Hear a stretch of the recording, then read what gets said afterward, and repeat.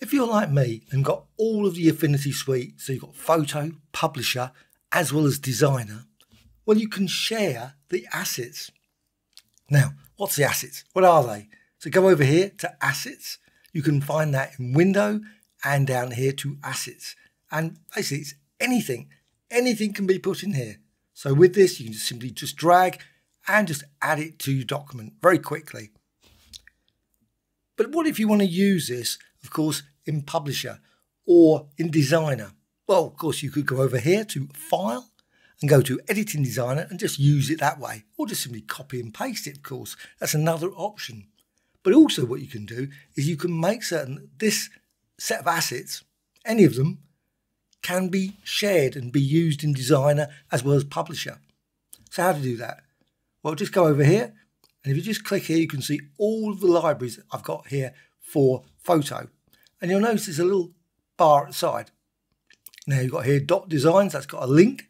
And that means I can use it in Publisher as well as Designer. But you'll notice I've got some that I haven't got that. So let's just go to patterns. So I select that and I've got some pattern designs. Now, not particularly interested, of course, in using these in Publisher or Designer, but for example, what you can then do simply just go up here, right side menu, and click there and down here, link category. Now there's one weird feature of this. As soon as I do it, say link category, it's linked. Now you can see the link there, but there's no unlink category. So you have to make certain you actually want to link it. Otherwise, you'll just end up linking lots of things, but you will never be able to unlink. So now let's just go to designer so in Designer now, if I go exactly the same place, Window and Assets, and here in Assets you can see all the links there, and I can go down and Pattern 1. And you can see now I've got those assets there, and it's got that little link, so I can use it here to simply just drag, maybe this one, drag that, and so on. And you can see that's a pattern design, and you can squeeze that. Of course, Designer doesn't come with patterns, but you can use patterns in Designer very quickly via this assets. And of course now, if I go here to Publisher, do exactly the same. In Publisher, I can go to Window and down here to Assets again. And now I've got Assets somewhere over there, hidden away. Oh, there it is, Assets.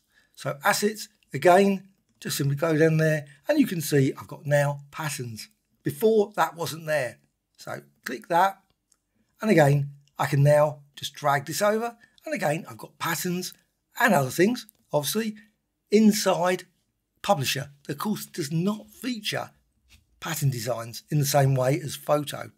Now, if I go back to Photo, let's just go back to Photo. There's another option as well.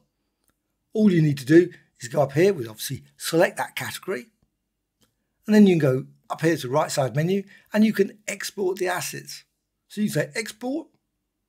And now you can select a folder. Let's just go to my desktop and I can just say assets one and save. I just saved it.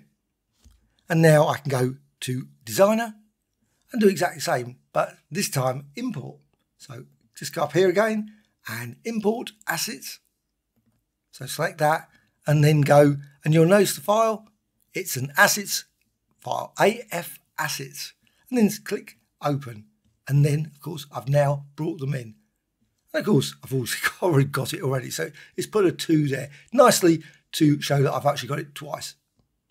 And that is a quick way of moving assets from photo to designer to publisher, as also from publisher into photo or designer into photo as well. You can do it obviously the other way around.